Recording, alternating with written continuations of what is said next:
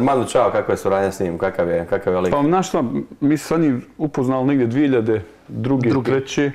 Uh, on je igrao slučaj, on radili su neku turneju po a, Poljskoj Ukrajini, tamo negdje gore. A tada smo Vedran i ja svirali u drugom bendu koji zvao Odi Lukovac Ornament i naš tadašnji menadžer je bio njima tour menadžer a, tada. I ne, u nekom razgovoru je Manu njemu rekao da bi svirao besplatni koncert za Sarajevo. I onda ovaj nije znao koga nazove, nego nas, su jedine ljudi koji znao u Sarajevu. Kao bili smo mogli nešto za par dana organizovati, mi smo onda jednom lokalnom gradskom festivalu predložili, pošto nemaju taj dan program, da nam daju binu i razglas.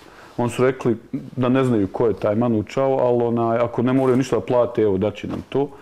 I onda je bio stvarno ono, veliki koncert. Njegov tu smo se upoznali, nekako od tada smo ostali u, u, u kontaktu i u nekom jaranskom odnosu.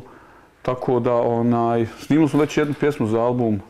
Um, za koju jedno? Za Happy Machine. Za Happy Machine.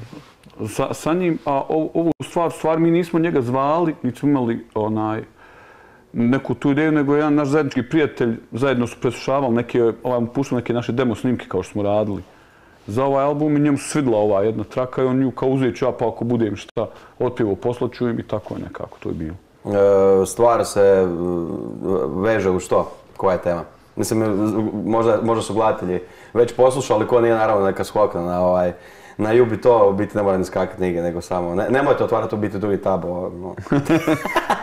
dok ide uživati. Ako mi slabi internet, da, ne da, to da, da, da, da. Aj, ono, pjesma se bavi, zove se Cross the Line i bavi se u suštini migracijama. I onda je to, znaš, to je tema koja, koja nas realno pogađa svakodnevno, ne samo zato što, što ovi ljudi na balkanskoj ruti prolaze a, kroz naše zemlje, već zato što, što je ono, hiljad ljudi odlazi iz, iz Bosne i Srbije, iz Hrvatske, iz cijelog ovog XU regiona, put ono, boljim trbuhom za kruhom, što kažu u, u, na zapad, a onda opet Manu, Manu iz neke njegove perspektive koja je, koja je ono, on dosta vremena provodi u Južnoj Americi, pa onda on ima drugu stranu uh, te priče, a to su ove njihove migracije iz Južne Amerike ka, ka Sjednje američkim državama.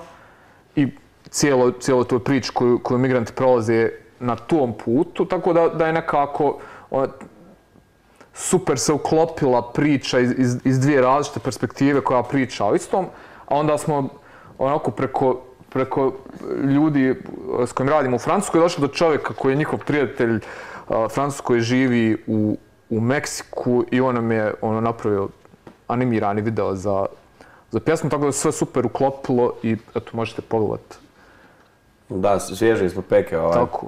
Je juče, jel? Juče je izašlo. Molim? Juče je izašlo pjesma. Juče... Prekiče. Ne, nema veze, možemo reći tačno, pošto je fake news Ja, pitanje. Da, da, da, da, da.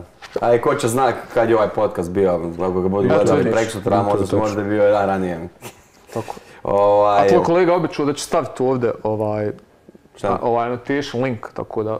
Aha, da, da, moguće da hoće. Evo, sad- sad ću morat staviti, pošto sam ga prozvao- na prozvao jesen, sam. ovaj, Jesam stavljam sve linke. na jesen, na jesen. Da, pa Bo- Bosna u biti je za e, praktički ko, kako bi rekao, ko pogranično područje u Meksiku. a, Pa ja, samo nam zid fali. Da, Fali da. Tijuana.